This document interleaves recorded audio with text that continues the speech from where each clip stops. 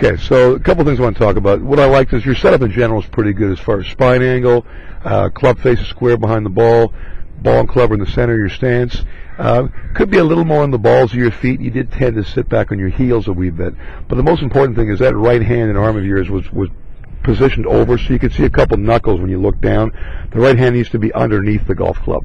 So consequently that right arm tucks closer to your body. So we kind of narrowed that daylight in, right? See how that? And you should be able to see part of your left forearm if you look at yourself in the mirror down the line if you're standing there, right? So we're going to square the shoulders up and get the right hand in a more complementary position and lighter pressure, not as rigid. Other than that, your setup is pretty good, but that's the biggest culprit.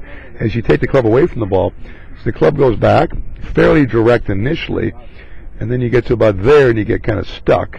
And look, now the club gets kind of fanned open. Yeah, exactly. So you fan it open, look how flat it gets.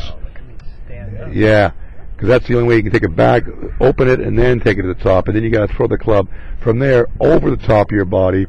And the club comes down. Look, you're going to flick it. Now your wrist closed, and this one you closed in time better. But when you close the club earlier, that's when you can pull it, obviously, right? So if we can take the club back with your shoulders, A, do the better balance to begin with in your setup, and that right hand staying soft and in a better position, the club can go back to the top of your backswing with your shoulder turn, and your wrists don't end up coming off the golf club with that bottom hand, and then you can swing out and up more consistently and get rid of that pull. Okay, and that would apply to